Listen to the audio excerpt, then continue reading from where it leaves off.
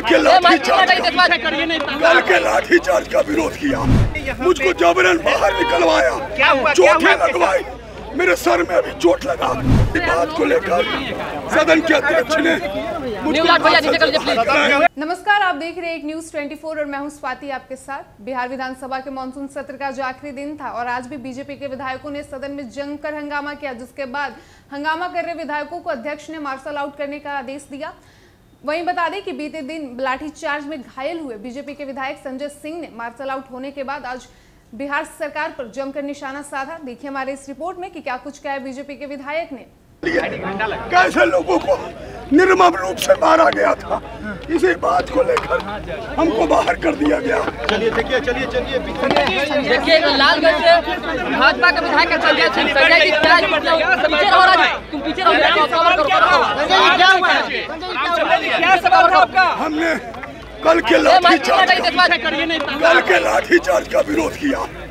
बस इतनी बात पे सदन के अध्यक्ष ने मुझको जबरन बाहर निकलवाया चोटें लगवाई। मेरे सर में अभी चोट लगा।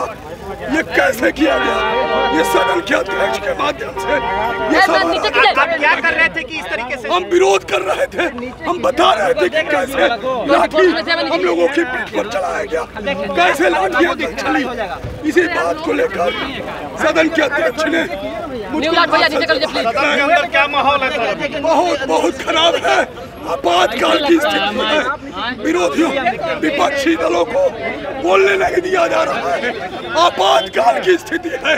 देखिए किस तरह से अब क्या भाजपा करेंगे? विधायक संजय सिंह को क्या है? कहाँ कहाँ चोट आया आपको? सर। सिंह है बीजेपी विधायक मार्शल आउट किया गया है और इनका कहना है कि सदन के अंदर क्या हुआ क्या घटना हुई थी बताइए।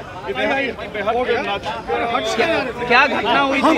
है कल के लाठी चार्ज के खिलाफ आज हम सदन में अपना दिखा रहे थे कि कैसे कल लाठियों से पीटा गया। है। ऐसे में अध्यक्ष ने मार्शल से हमको जबरन बाहर कराया।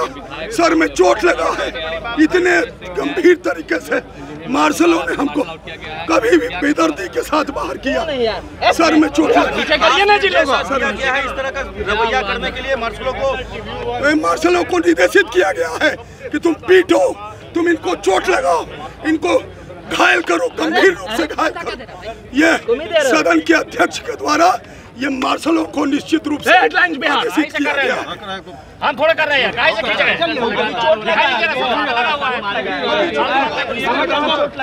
तो आपने देखा कि बीते दिन लाठी चार्ज में घायल हुए बीजेपी के विधायक संजय सिंह ने आज मार्शल आउट होने के बाद सरकार पर किस तरह के गंभीर आरोप लगाए? फ़िलहाल इस वक्त की खबर में इतना ही और ऐसे ही तमाम खबरों के लिए देखते रहिए एक न्यूज़ 24 वीडियो पसंद आया हो तो वीडियो को लाइक करें शेयर करें। साथ ही हमारे यूट्यूब चैनल एक न्यूज़ 24 को भी सब्सक्राइब कर लें। यदि आप हमें फेसबुक पर देख पा रहे हैं तो हमारे फेसबुक पेज को भी फॉलो करें। धन्यवाद।